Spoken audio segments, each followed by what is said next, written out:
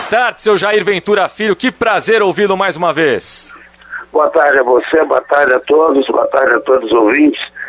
É um momento, é um momento de muita alegria e de muita preocupação pelo lado desse coronavírus, né? Eu estou em casa. Tá em casa, né, Jair? Tá em casa, sossegadinho, vai, vai ficar durante um tempo é, longe da, da Marcele, que eu já ouvi dizer que é o grande amor da sua vida? É, justamente, ela, é, ela, ela é minha paixão verdadeira. A Marcele é, é um pão que me alimenta de alegria, de felicidade. A Marcela é a filha do Admilson, um dos filhos do, do Jair, a netinha do, do Jairzinho, que eu já ouvi falar que é, que é o xodó do Jairzinho, um dos xodós aí da, da família. Jairzinho, você está há quanto tempo recluso em casa, sem sair de casa? Eu já estou cinco dias. E a movimentação aí no, no, no, no, Rio de Janeiro, pelo que você vê aí pela, é, pela janela? A maioria, a maioria das pessoas estão pela minha visibilidade, estão disciplinando.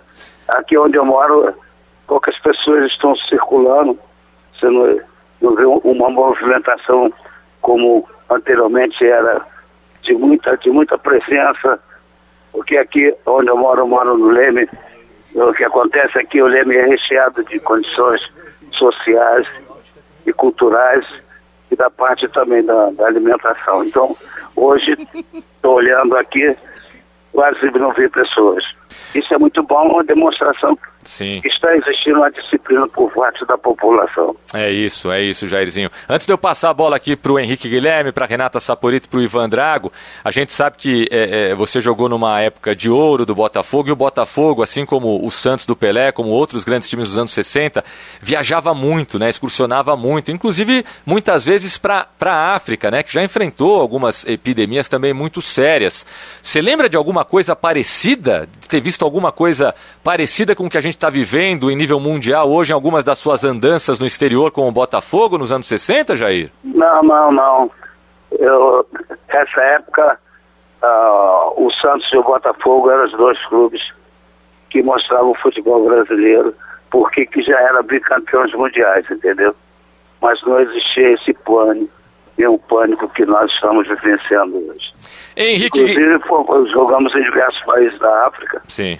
E correu tudo bem. Henrique Guilherme, que tanto acompanhou aí a carreira do Jairzinho, é, é, talvez é, não toda a carreira de, dele, né, Henricão, mas certamente uma parte importante. O, a sua pergunta aí para o grande furacão da Copa, que nos alegra de estar ao, ao nosso lado hoje, pelo telefone, é claro, mas tabelando conosco nesse Papo de Craque, segunda edição. Barba. Olha, eu tenho quase que a idade do, do Jairzinho pouquinho mais, um pouquinho menos, é, mas está por aí, é depois dos 70. E eu vi sim o Jair jogar e, e, e, voar e se realizar e crescer no futebol num time que tinha o Garrincha.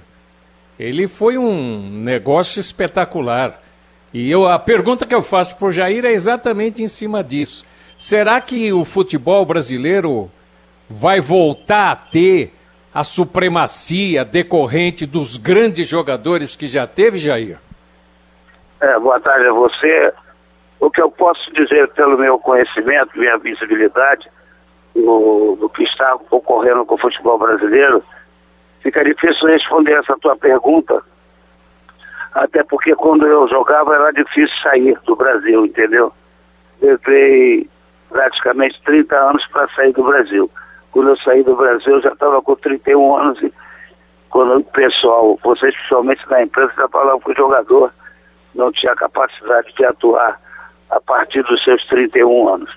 Hoje o que você vê é a exportação excessiva dos garotos. Mal surge um garoto hoje, vai todo mundo embora. Então está escasseando o futebol brasileiro e essa é uma das razões do porquê vai ser difícil nós voltarmos outra vez a ter uma seleção principalmente com cinco número 10, que todos jogavam dentro do futebol brasileiro. Então, essa é a grande dificuldade que o futebol brasileiro está vivendo e hoje nós temos presentes é, jogadores de toda parte é, da, da, América do Sul, coisas que era muito difícil existir na época que eu atuava. Então, eu acho que a resposta que tem para dar para você é. O excesso de exportação do futebol brasileiro para o toda parte do mundo. Ivan Drago, a sua pergunta para o furacão da Copa, o grande Jairzinho. Tudo bem, Jairzinho? Prazer em ouvi-lo. Eu queria que você falasse um pouquinho a respeito do seu filho, que agora é, tem uma trajetória como treinador no futebol brasileiro, ou está criando mais essa trajetória, né? E é uma profissão muito difícil no futebol brasileiro. O que é que você tem conversado com ele? Se você tem dado alguma dica? Como é que você vê a situação dele hoje no futebol brasileiro, Jairzinho? É, boa tarde a você também. Bom, tu sabe como é que é pai, né? Pai gosta muito de estar junto com o filho, de procurar ser útil para ele, em termos de de experiência, é, que eu tenho as duas partes, eu tenho a experiência como jogador e tenho a experiência como treinador. Mas nós dois temos um pacto de responsabilidade e de respeito. Eu deixo ele muito à vontade, até porque ele é muito capacitado, é um homem muito inteligente, tem um linguajar muito forte, conhecedor da, da, de diversos idiomas, conhecedor também do futebol brasileiro mundial, até porque também jogou fora do Brasil. Então, no, a nossa liberdade, ela, ela é simples e participante. Se ele tem alguma, alguma carência, alguma preocupação, ele me liga. Se ele não tem, ele fica à vontade, até porque ele tem muita capacidade, como eu falei já anteriormente, e tem tido sucesso onde está trabalhando. Renata Saporito, Jairzinho conosco. Jairzinho, uma honra falar com você por aqui, tudo bom? É, pegando o gancho do Ivan Drago em relação a, a ao assunto técnico, Uh, a gente sabe de, de toda a trajetória do Jorge Jesus, do sucesso dele em tão pouco tempo aqui no futebol brasileiro, né?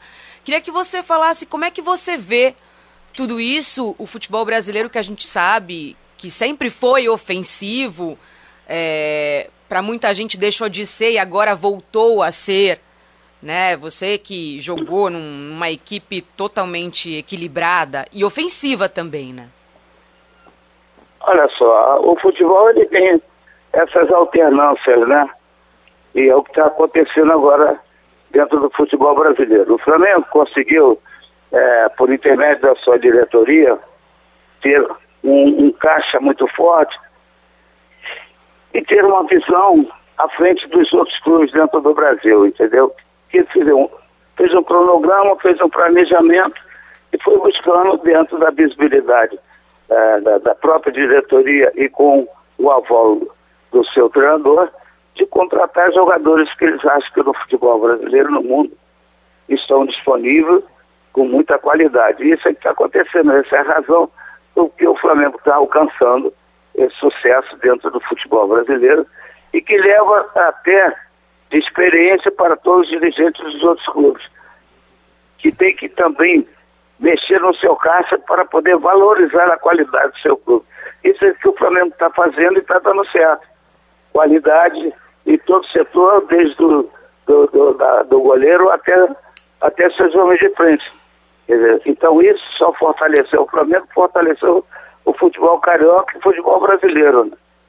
E aí você vê hoje o Flamengo com, com jogadores de alta qualidade na reserva que você não vê nos outros clubes, não.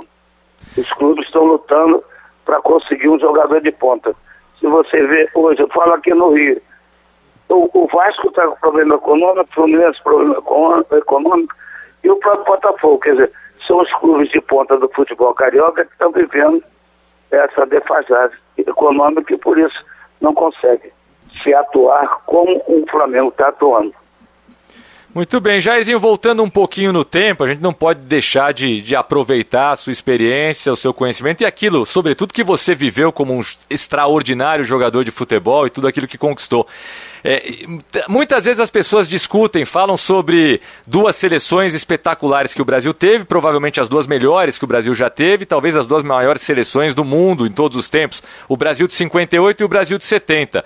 Vários jogadores que você conheceu depois no Botafogo estavam na Copa de 58. Você tinha de 13 para 14 anos em 1958, deve ter acompanhado aquele título mundial, o inédito, o primeiro do Brasil. E depois, em 70, você foi um dos protagonistas. Dá para comparar as duas seleções? Dá para dizer a de 70 foi melhor, a de 58 foi melhor? Ou é muito difícil essa comparação entre esses dois times maravilhosos que, em comum, tinham o camisa 10, o rei do futebol Pelé? Bom, o que eu posso dizer que a geração de Newton Santos, Garrincha, Didi, Quarentinha, Marido Zagallo, foi uma geração vitoriosa para o futebol brasileiro e mundial. Principalmente mundial, porque essa época o Botafogo saía fazendo a pré-temporada, excursionando e mostrando a qualidade do futebol brasileiro na América do Sul, é, na América Latina e na Europa e na Ásia, África etc. Então, juntou-se justamente uma geração de jogadores de alto nível, como eu te coloquei.